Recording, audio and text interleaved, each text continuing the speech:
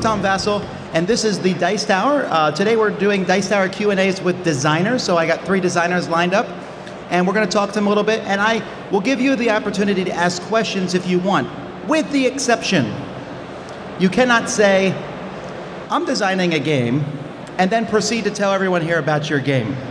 If you do, we'll take the mic from you. This is not an advertisement for your games.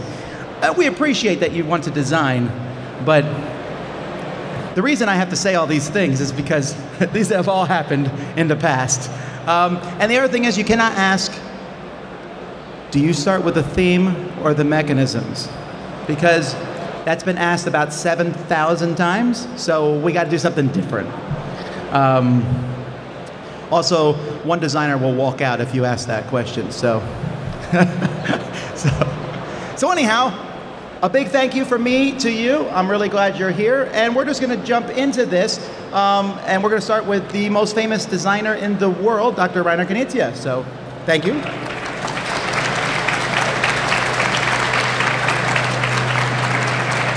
right here. Thank you, sir. You know, I'm currently designing a game, but I'm not quite sure if I should start with the theme or the mechanism. Well, you're allowed to do this. okay. Now, um, you are known. See, most designers, when they come up, I'll say they're known for this game or this game, and you have about 30 games that fit in that category. Do you, if you were meeting someone and you wanted to impress them, which game would you tell them was the game that you designed? You know, these people get more and more sneaky on asking me the same question over You're and right. over I'm not again. asking. No, but see, that's not, I'm not asking you your favorite game. Which one is my favorite I'm, child? I'm asking you which one do, would you impress people with the, the most? It depends on the person because okay, good point. if you take the worm game, Pickomino, whatever you call it, I think. Forgive me for saying that. I think it's a fantastic mechanism because all the other dice games so far are all kind of Yahtzee types, and suddenly this is 90% orthogonal to it. I'm a mathematician. Uh, but again, some people don't like uh, dice games, so they like uh, Euphrates and Tigris because it's nice, complex, and so on. It's, it's an impossible question to be asked. I think I should take the microphone away from you.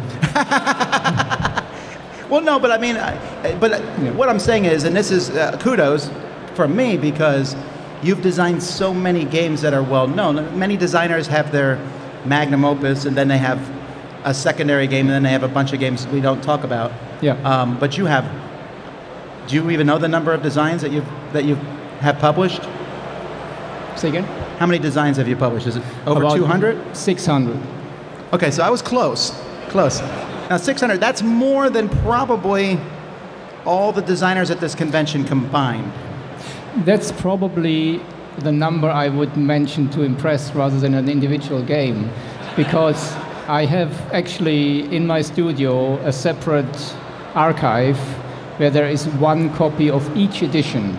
So each different language edition, so the Lord of the Rings is 20 editions in 20 different languages, and this is over 2,000 boxes.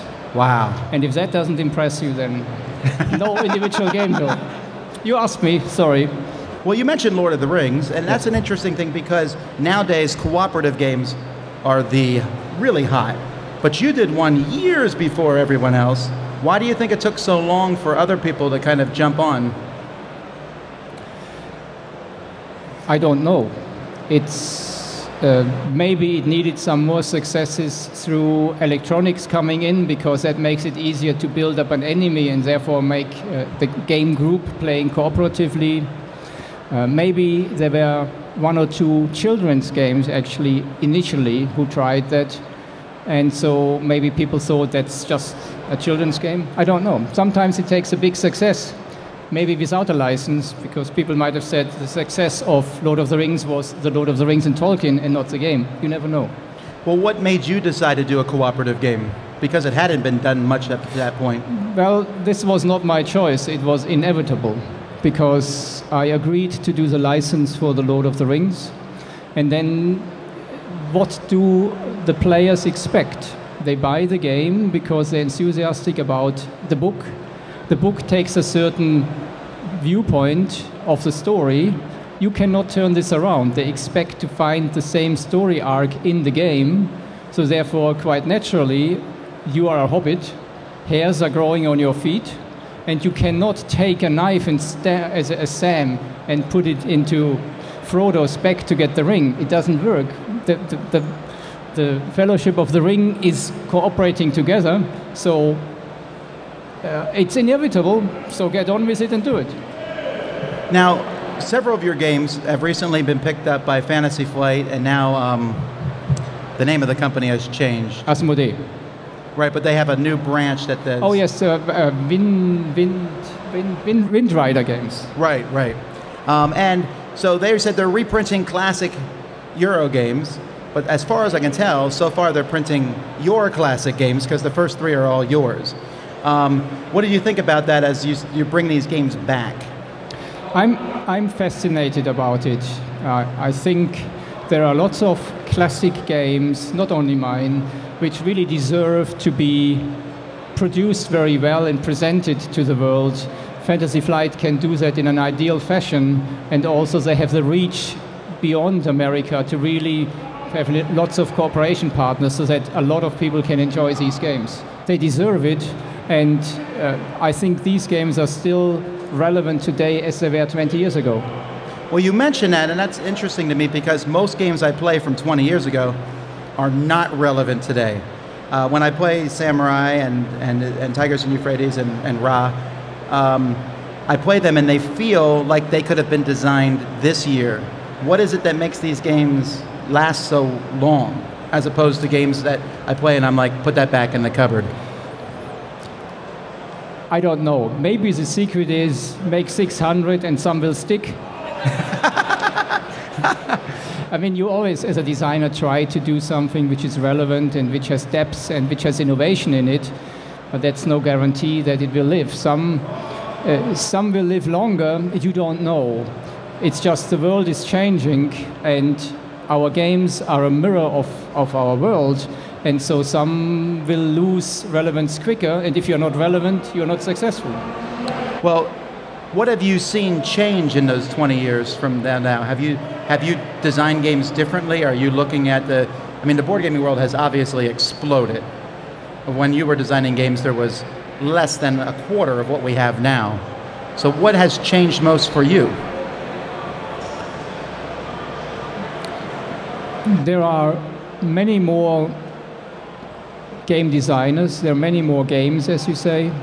There are more publishers, there are an overwhelming number of new releases. The really big challenge is how do you stand out from the crowd? This is a challenge for the designer because the publisher needs it. A lot of my games today get turned down from publishers who say, this is a really nicely designed game. We had a lot of fun. It's very well balanced. It's almost perfect, but we are still missing the wow factor. We don't want it. So it is very difficult to stand out from the crowd. Uh, and this forces you to be innovative, to find something, maybe to take bigger risks. Uh, but I think it keeps us on our toes. You need to be relevant, otherwise, you will be insignificant. Uh, this is much bigger a challenge today than it was 10 years ago or 20 years ago. Of course, we have many more opportunities. On the other hand, you see, today we are living in a world which changes extremely quickly. Uh, the electronics, uh, the information possibilities, uh, it, it, is, it is radical what's changing, our, our cultures. Uh, when I started my business, there was no internet. Yeah, it's, it's I mean, when, when my father started his business, there was no television. I mean, it's, it's just, it's, um, when, my, when my grandfather started his business, there were no cars. I mean, it's, it's just amazing what happens. And uh, this will change our games and will keep changing them. All right, well, we have time for a, a, few questions. If anybody has any, just raise your hand and we, you can ask. We got one over here. The least fun job at a convention is the microphone holder because you got to run. Make sure the next question's from that corner.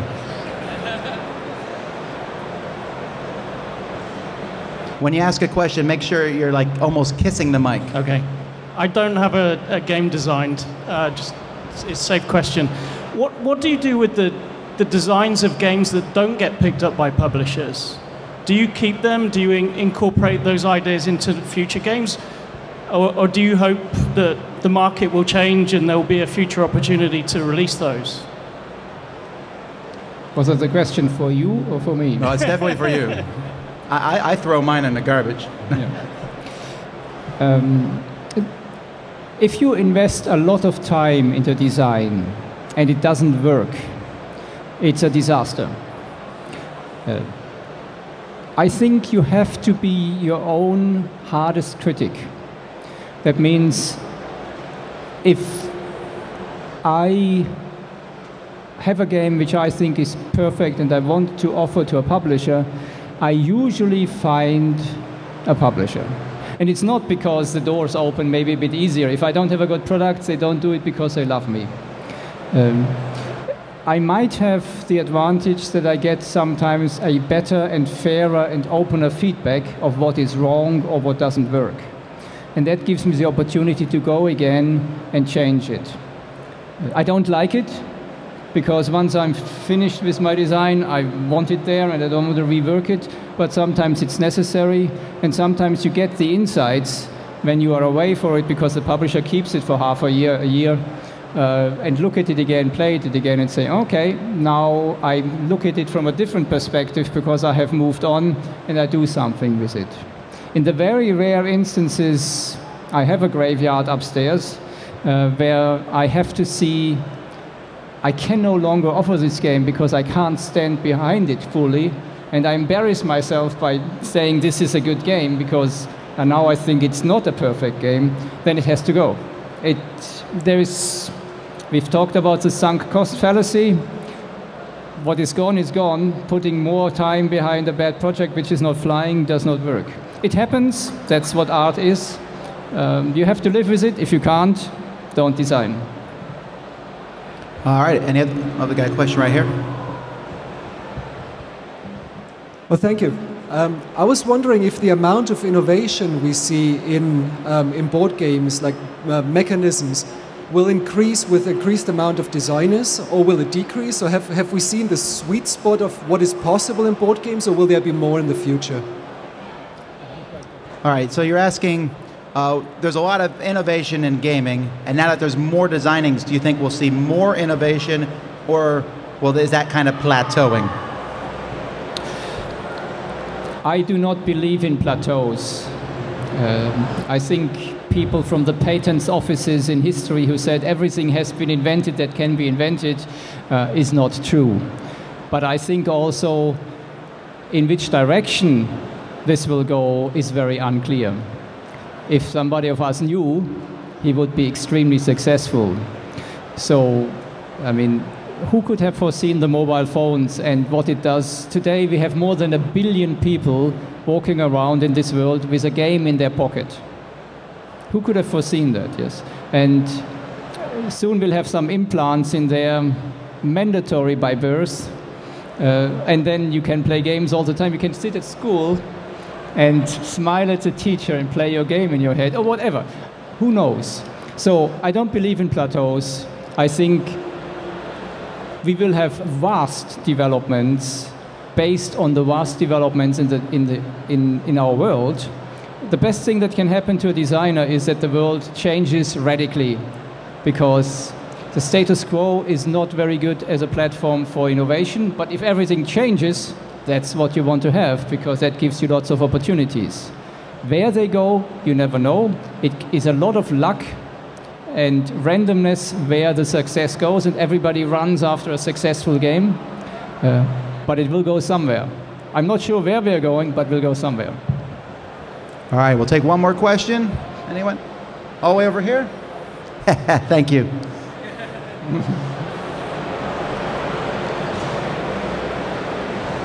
Like, how much money do you make from um, doing all the board games over a year?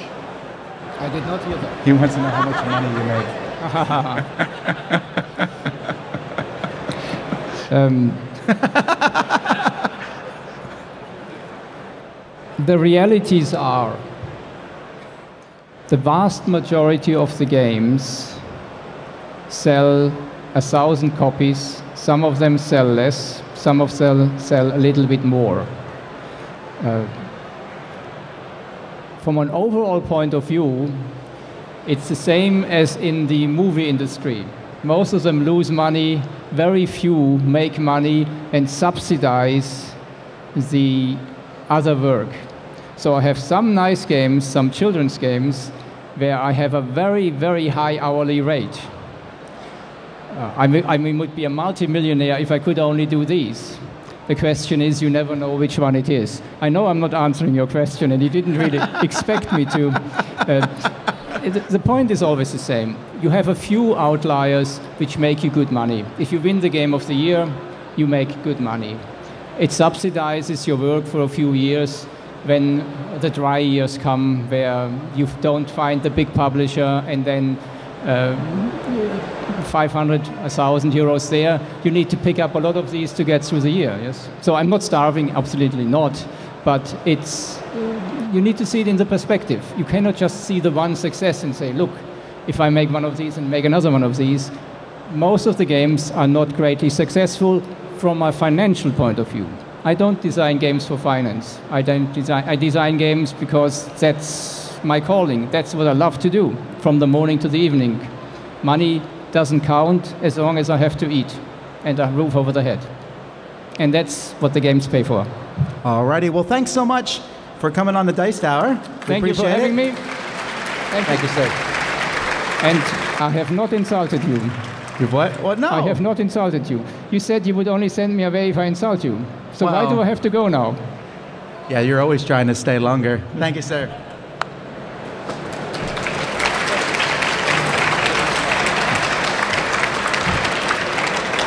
Right, well, now, one of the hottest games here, one of the designers for that, we're going to have Tony Boydell come on up and answer some of your questions. Oh. Sorry. Hello. Oh my God, my voice. No, it's okay. Right into the mic is where that way people hear you best. I think some people have been wishing for me to shut up, and my voice is going now. So, wish granted. Well, what do you think? Okay, so you have a very hot game here. I saw people screaming about it. What, what, um, oh, there you go. What, what do you think about that? What's it like to have a game that people are running to get? Uh, it's, it's very cool. It's taken a long time. We've been doing uh, Surprised Stare games for 13 years, and we had our first queue for games yesterday, and that was very pleasing. Now, I've heard you've been working on this game for a very long time. Yeah, almost 13 years on that as well. Yeah, 10 years to design the game. So why did this one take longer than other games? Well, it was. Um, it's got quite a lot of interactions with lots of cards, and so it takes a lot of development to make sure that things aren't broken, things aren't overpowered. Um, so that takes a lot of play testing, and I kept putting it on the shelf and coming up with other games in between. And then eventually, when I felt it was ready, we pushed it forward for publishing. So So how do you know that moment when you think the game is ready? Because I've met some people who their game will never be ready. Well, I think when your playtesters ask to play the game and they're not interested in trying anything out, they just want to play it for fun. That's a, a pretty good clue. Oh, okay. Yeah. So what? Tell us a little bit about the theme and the background of the game. Well, the we should probably tell people what game we're talking well, about. Well, yeah. The game is called Guilds of London. Um, the theme is based on the fact that in London, from the sort of the Middle Ages, a lot of the major industries were being controlled by little cartels, little groups of people who basically oversaw the success of those um, industries. So there was a guild of goldsmiths, a guild of merchants or the mercers, a guild of fishmongers, and so on. So they basically cornered that market.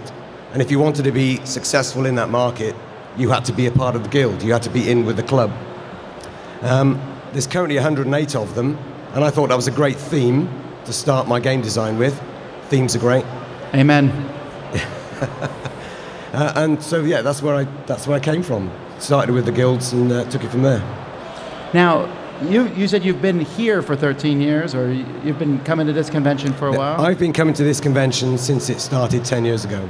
So, what do you think about the growth and where the hobby here in the UK is growing? I think it's wonderful. I mean, I took a break today and wandered around with my family, and there was something for all of them. So my, you know, my young lad likes sorts of games that I do, so he was enjoying those.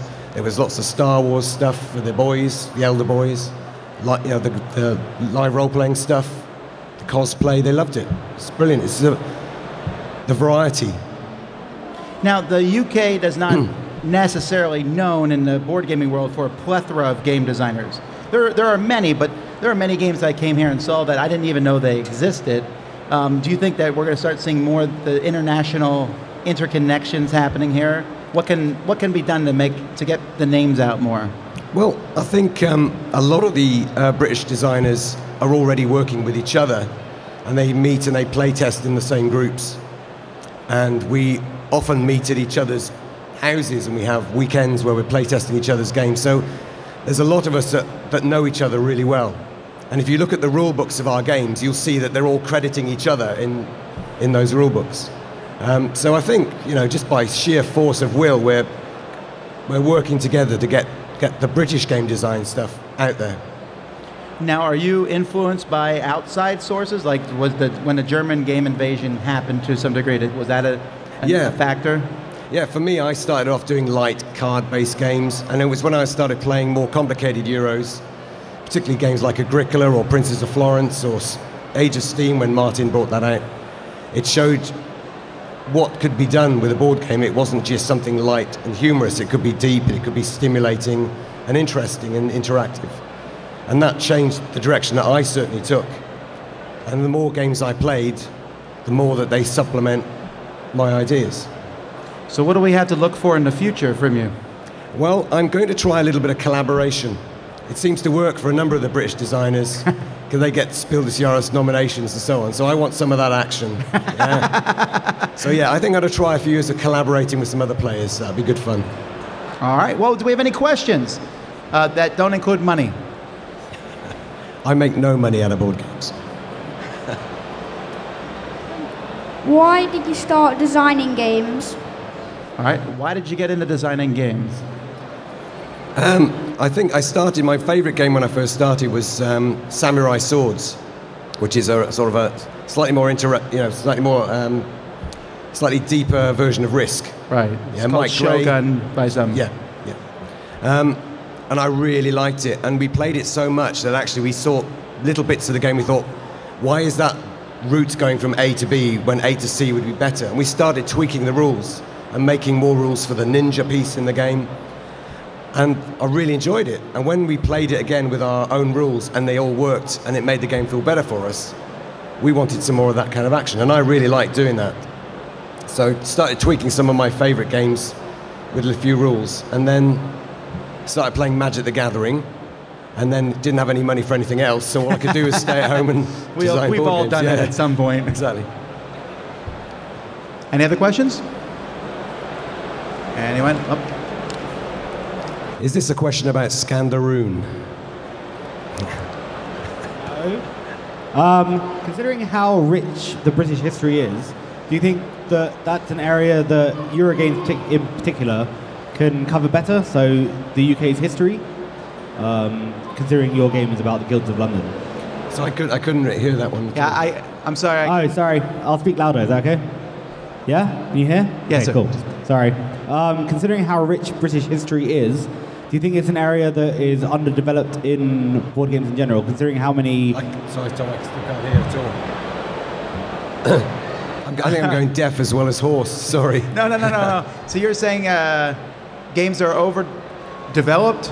No, no. Considering British history, Considering how developed British, how, how good British history is, just consider it underdeveloped in games. No, no, yes, I do. Well, all right, we have a translator. Thank you. I do. I mean, every. I got your question now. I think we've done railways to death. I love railways. They're wonderful and they're romantic, but there's an awful lot of rich history that we could we could be delving into. Yeah, absolutely. Got it, you got any uh, examples in mind? Now you got me. You put me on the spot. well, well, just, just give me give me Wi-Fi access and 10 minutes on Wikipedia. I'll find something. all right. Any other questions? Over here in the front. Oh, Actually, yeah, wh- while we're moving the mic, I have an example. Joseph Bazalgette and the Sewers of London. That's a great theme. Considering the um, population and proliferation of technology, what is your stance on hybrid games, or do you feel like board gaming is a space for phoneless and technologylessness? Kind of what's your stance on that? It'd be interesting to know. Thoughts on combining electronics and board games? Um, I spend all day working with computers. I don't really want to play my board games with computers as well. Um, but it's inevitable, isn't it? I think. Think so. I think so. So you're not you're going to design outside it? Yeah, I'm just going to carry on with, with cardboard and wooden pieces. Yeah. All right. I think we had a question up here somewhere. In the very front row.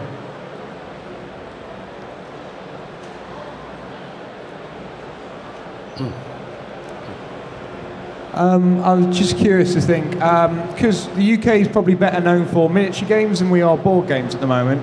But as we're seeing that the uh, the trend in uh, board gaming, that the lines are starting to blur.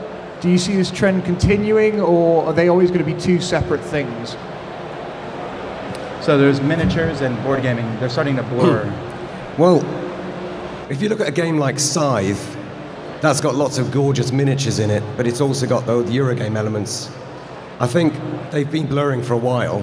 And if you look at the K word, Kickstarter, What's the K word now? Yeah, yeah, miniatures can be the difference between not funding at all and funding with stupid amounts of money. Uh, I think it's already happened.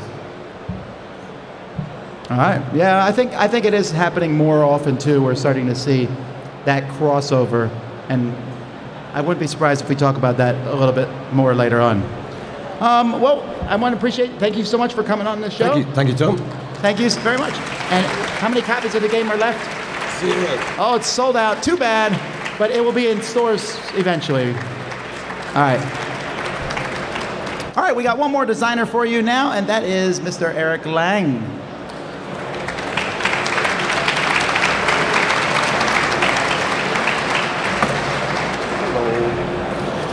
All right, so this has been a good year for you. Hello. I have an idea. I want to make a game where you're hobbits and one of you has to stab the other one in the back to take the ring. I actually, I thought that that would sound like a fun game. I, I, I was like, I was sitting there making notes. Oh, I want to talk a little bit about card games. So we got a um, Munchkin collectible card game coming up this year. That's right. And so you've developed several card games. You started in CCGs to some degree, didn't you? That's right. Game of Thrones was my first game. And now you're back in the CCGs. Yep, they pulled me back in. So what do you think about that design space? Is it harder than designing a, like a solid board game that's a I mean, yeah, every game is hard. Like, I have never designed a game that wasn't hard. Uh, at least, a, a, any good game that wasn't hard. Uh, that I love the CCG space. It's, I mean, I've been playing Magic since 1993. It was my first. Uh, it's in my DNA, like how does uh, collectible card games are designed. Uh, I took a, a little bit of a sabbatical from card games after uh, Warhammer Conquest a few years ago. I was like, I felt like I kind of explored all of the space that I thought th- that I was into. And then I had a conversation with um, Phil Reed from uh, Steve Jackson. He said, like, so do you like Munchkin? I'm like, well, I love the jokes. I love the IP. I love all that stuff. He's like, you want to make a collectible card game for it? And instantly I was like, yes, I do. And just because I like the idea of doing a a tournament playable, uh, technically sound card game that is also based on ridiculous, adorable humor. That was that sounded like a space that I, I hadn't been there before, and I would really relish the I relish the opportunity to go to go visit there and see what would come out of it. Uh, I have a, a co-designer on that, Kevin Wilson, one of my oldest friends. I designed Arkham Horror and all the games ever made.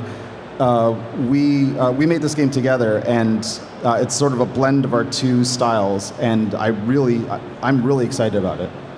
Now, when you design these collectible games or living games, uh, you've designed some, you usually design the initial concept and a lot of the stuff in the base set, but as time goes by, sometimes parts of that are turned to other developers who are working on these cards and things. Yeah, absolutely. How does that feel? Do you ever like get a set and you're like, I would never have done that, or they should have done this? Well, I'm talking about ancient history, not current stuff. Yeah, yeah, clearly. Um, so yeah, there many games. Of course, I can't. I mean, I've got uh, four live living card games on the market right now. I've got a digital trading card game. I'm working on Munchkins. We've got Dice Masters. There's a lots, a lot of games. Of course, I can't design every card for everything. Uh, it largely depends on the publisher. Uh, Fantasy Flight has a really good, um, a really good and really experienced network of developers that work with me right from the very beginning. So they're involved in the game right from the start. Uh, like I don't design any Game of Thrones stuff anymore. I don't design any uh, Cthulhu stuff anymore. It's uh, and even Conquest is now largely turned over to their team. Uh, I'm involved. I, we, I help them do the planning and I review cards and I always send over ideas.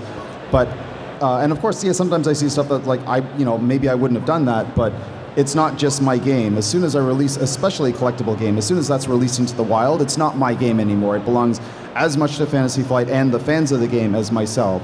So even if it's something that I may not have done, if the fans like it, then it's clearly the right ch- the right choice for the game. Now, someone asked earlier about the crossover of miniatures and board games, and you definitely have a little bit in there. I'm a pretty games- big fan of toys. Yeah. So, do you feel like that's a toy box that's been recently opened because of Kickstarter and the, you know, the the ability to make these great pieces? This is something you've To a- always wanted to do. To a degree, I mean, like, so I'm I'm 13 years old at heart, and I love I love toys. I love bright colors. I love the. Um, so, yeah, I, I mean, I've always wanted to work on games with really cool miniatures, and I did. I mean, with, uh, even back with um, Chaos in the Old World, uh, the fact that we had all these really cool plastic toys was a big part of the enjoyment for me. Uh, I'm not sure if Kickstarter really. I mean, Kickstarter enabled a lot of uh, a lot of publishers to enter the field, but I'm not sure if it's necessarily responsible for the uh, for the quality of miniatures. I just think that collectively we're always looking. There are so many games on the market, like Reiner was saying earlier, that we're always looking for different ways to stand out. And I mean, a clear way to stand out is to keep raising the the bar of quality.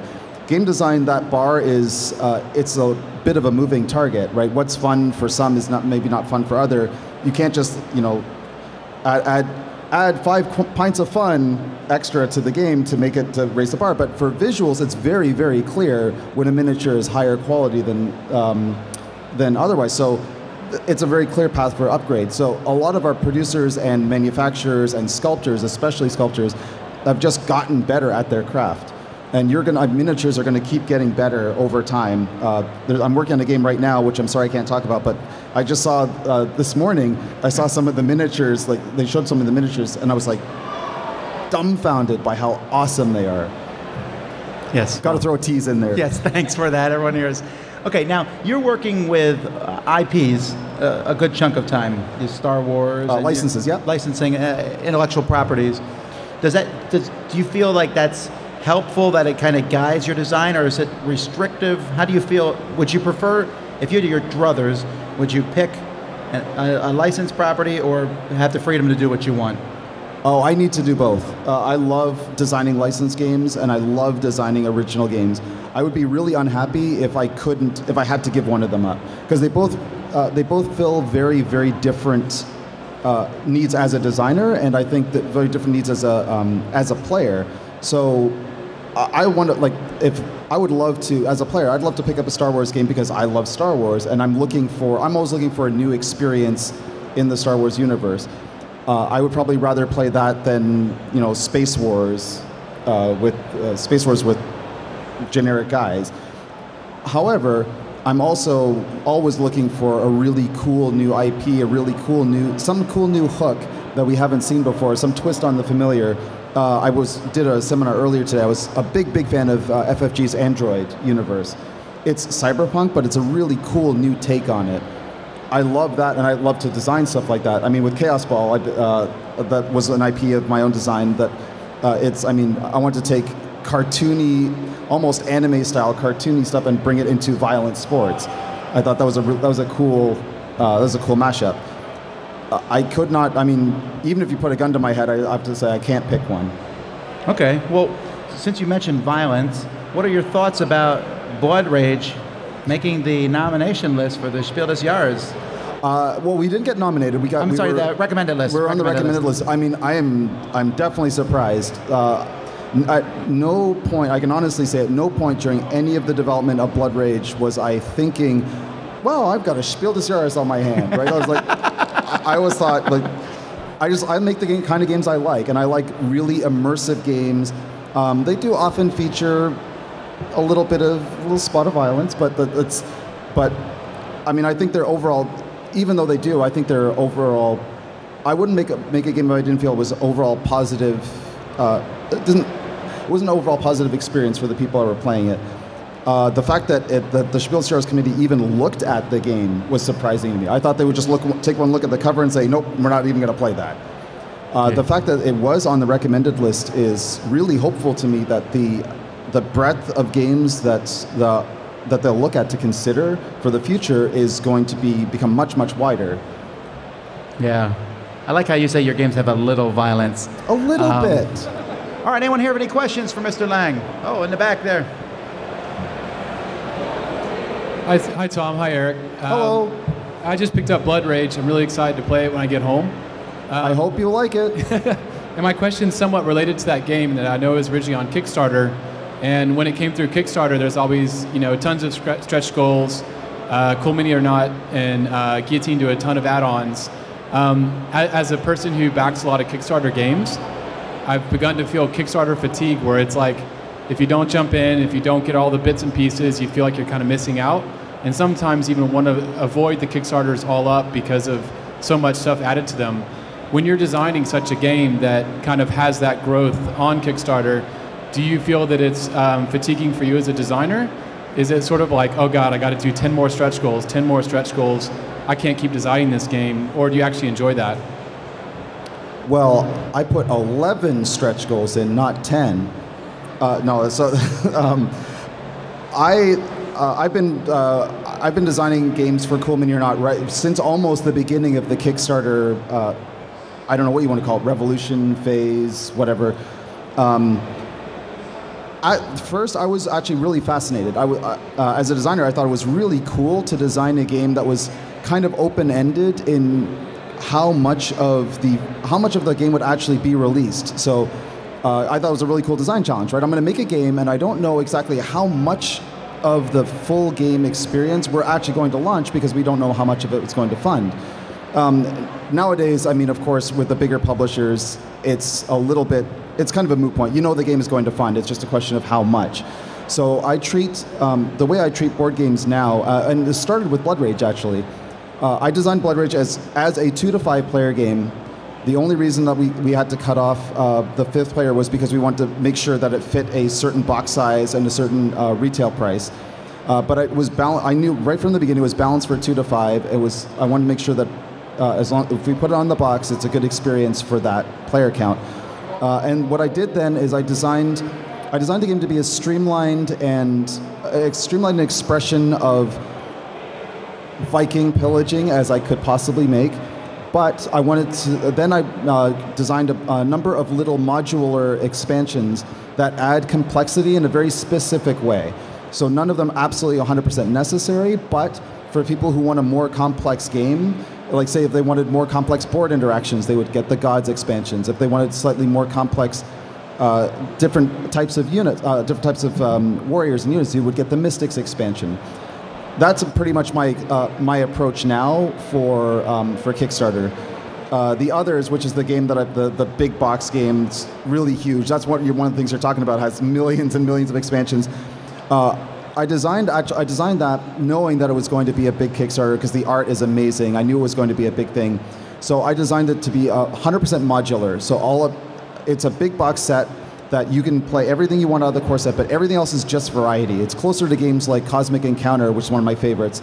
I hear Tom kind of likes it a little bit. It's okay. It's okay. It's okay. Uh, but I just wanted to make stuff like, you know what? You don't need it, but it's just more cool stuff, more cool teams, more cool monsters. They plug into the base game exactly, and it's just different kinds of uh, fun in exactly the same system. You don't have to buy any of it, but if you're like me and you just love lots of variety, then just cherry pick the ones that you want. That's my philosophy as a designer going on through, and you'll probably see that as a um, from a lot of publishers in the future too. I don't think there's going to be less emphasis on exclusives and stuff that uh, I mean they have to have it to a degree because monetization, blah blah blah. But I think you'll find that there, we're a lot more focused on, as an industry, we're a lot more focused on the long tail, the, the what happens after Kickstarter, and basically, essentially making Kickstarter as a, a marketing event. It's, here's this really cool game. We're going to show how many people are interested in it, um, and hopefully that'll translate into uh, more retail sales later. And so, Blood Rage has proven that out so far. So, fingers crossed for the future. All right, any other questions? Up here in the front.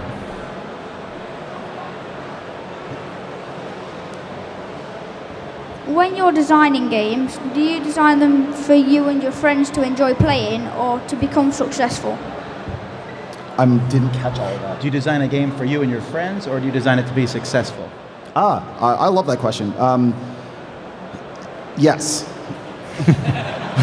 so, uh, to some level, I mean, games are as much art as science. I actually believe they're much more art than they are science. Um, the so if you believe that, then games are um, the, the that games are mostly art. There's a level of expression to it. So it matters.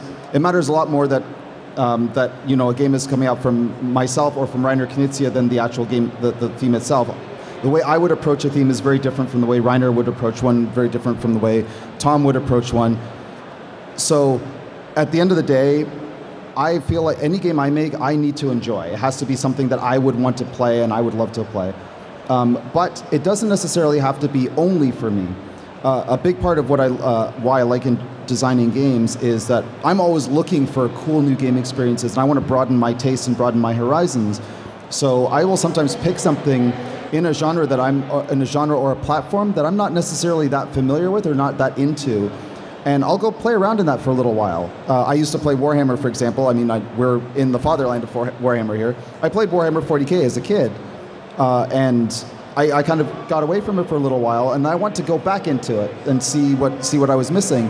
And I found a new kind of enjoyment out of it that actually has informed a bit of my design uh, nowadays. Uh, not obviously, probably more subtly, but it has to be.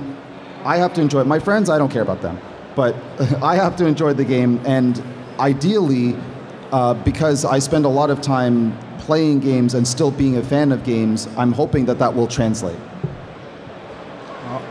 All right, we got time for one more question.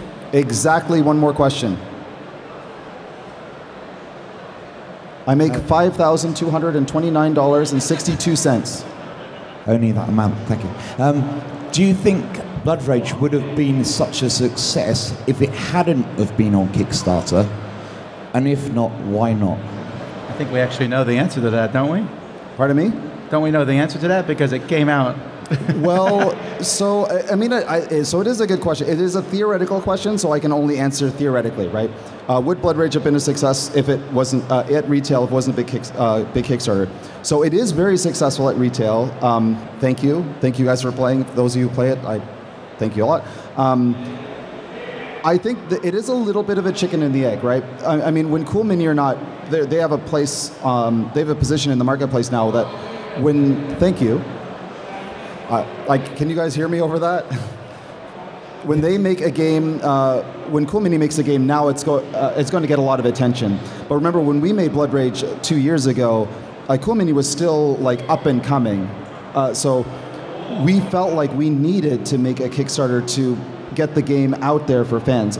I don't know. I honestly don't know if Blood Rage would be as visible as it was if it wasn't had a big Kickstarter. It might have. It may have been just another big box cool mini game, and I'm hoping that a big chunk of why um, I'm hoping that Blood Rage is successful that because it resonated, um, and that without a big without like some big push initially, that hype might take.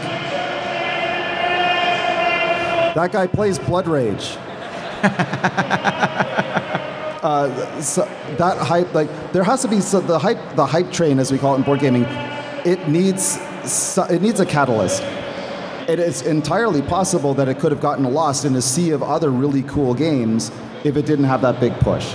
So I, I honestly don't know. Like, I still think even for I'm doing another big game, of course, for Cool Mini or Not. Spoiler alert: that will be on Kickstarter at some point, either this year or next year.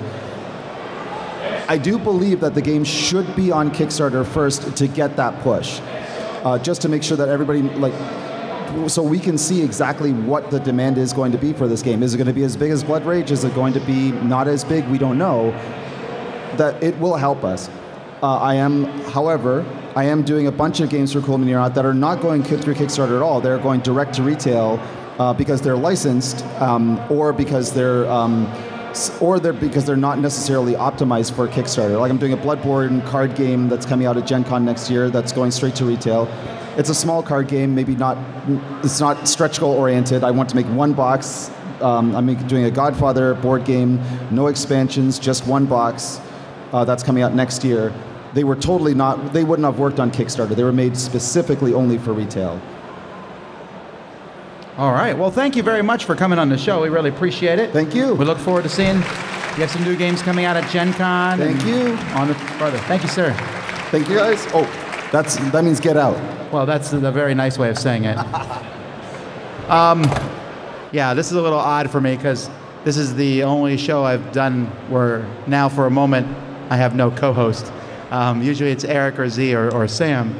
Um, that's okay. I'm feeling, I'm feeling like I'm uh, ahead in that game currently. Now, are, is our time up here? We have a few minutes, so if anyone has any quick questions, I can answer uh, maybe a few. Although I'm, I- I've designed half a game, so I don't know that I would be the best. My, most of my perspective on design comes with what I like and what I'm seeing. It's certainly changing, and I think today we saw a gamut um, from you know one of the original game designers up to a well, Eric's not new, but a modern designer, I guess more so. Yeah, a, a classy designer.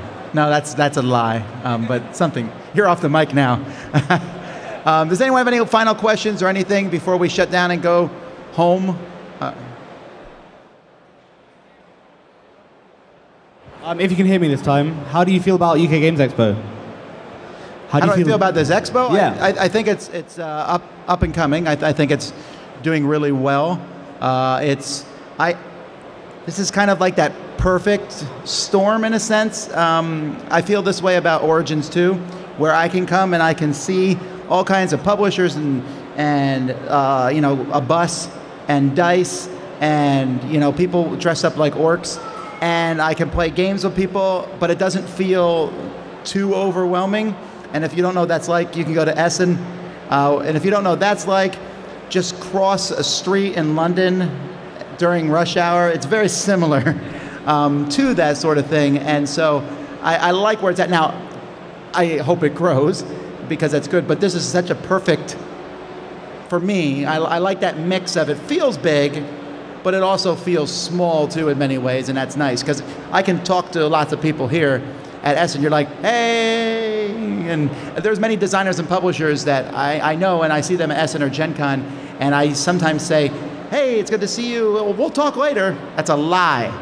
We are not talking later. Um, that we, when we say later, we mean at the next convention that doesn't have a lot of people at it. Anyone else? All right. Well, that doesn't bode well for our Q&A tomorrow. But Sam will be back, so uh, we're going to do a Q&A tomorrow at 1 o'clock. It's in the same spot here. So that's your last chance. Think of good questions. Try to stump Sam. Um, you can ask, throw me some softballs. Um, guys, we really appreciate it. We've been having a great time here. We were surprised that there was more than 10 people here. I'd like to thank Eric and Tony and Reiner for coming in. They did a great job, and hopefully we've all learned something today. So thank you to all of them. All righty, well, thanks so much. You've been watching and or listening to the Dice Tower. I'm Tom Vasel. We'll see you next time. Thanks so much for watching the Dice Tower videos. Find more great videos and reviews, as well as our top rated audio podcast at Dicetower.com. You can also find other great shows at Dicetowernetwork.com. I'm Eric Summerer, and you've been watching The Dice Tower. The Dice Tower is sponsored by Cool Stuff Inc., where you can find great games for great prices. Cool stuff in stock. Check them out at CoolStuffInc.com.